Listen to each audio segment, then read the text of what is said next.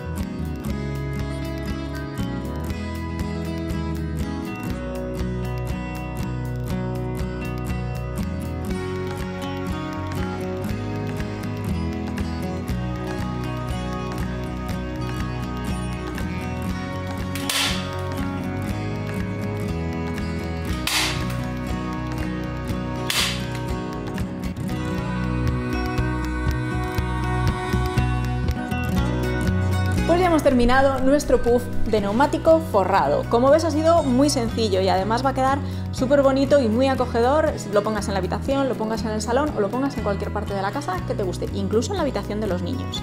Si te ha gustado el vídeo, sabes que puedes darle like. Si no estás suscrito al canal, suscríbete al canal y activa las notificaciones para que YouTube te avise cada vez que Hanfi tenga un nuevo vídeo para ti. Ah, que no se me olvide, si tienes alguna duda o algún comentario que hacernos, nos lo puedes dejar escrito abajo para que te echemos una mano con lo que necesites. Muchísimas gracias por llegar hasta aquí y nada más, nos vemos en el próximo vídeo.